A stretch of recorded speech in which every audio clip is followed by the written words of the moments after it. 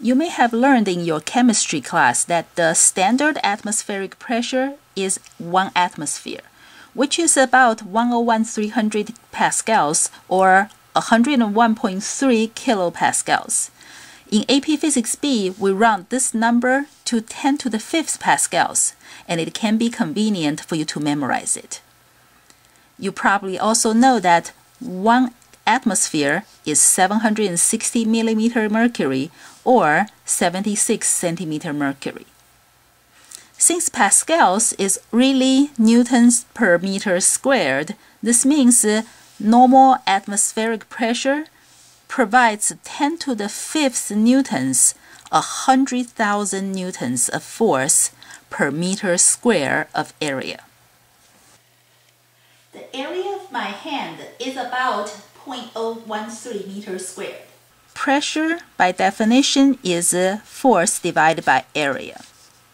So the force equals to pressure times the area.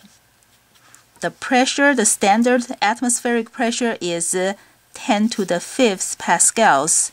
The area of my hand is 0.013 meters squared. So this gives us 1300 newtons. So the atmosphere exerts 1300 newtons of force on my hand. That is 130 kilograms of air column above my hand pushing down on my hand. That's a lot. But why doesn't my hand get pushed down? Because there is also 1300 newtons of force pushing up on my hand. Remember that for a fluid at rest, the force from the fluid pressure is always perpendicular to the contact surface. So the force from the atmosphere on my hand goes down, sideways, and up.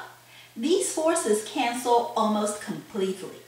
So my hand does not get pushed around by the atmosphere at rest. I don't notice these forces because I'm so used to them. There are absolute pressure and gauge pressure. The absolute pressure is the real pressure. So if it says pressure, it means absolute pressure.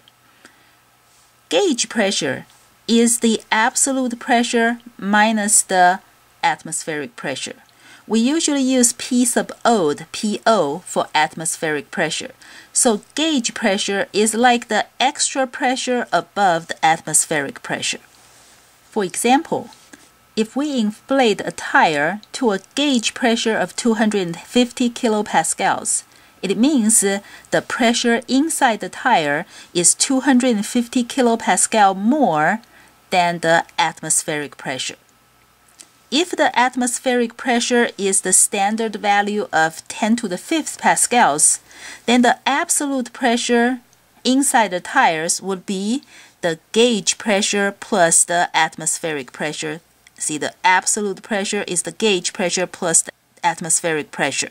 So this would equal to, the gauge pressure is 250,000 pascals plus the atmospheric pressure. If a problem doesn't say anything, that means we will use the standard atmospheric pressure for the atmospheric pressure. So it's 10 to the fifth pascals. We add these two together, we get 350,000 pascals. And that's the absolute pressure inside the tire. We may use gauge pressure instead of absolute pressure because sometimes what's important is the amount of extra pressure above the atmospheric pressure, as in the case of tire pressure.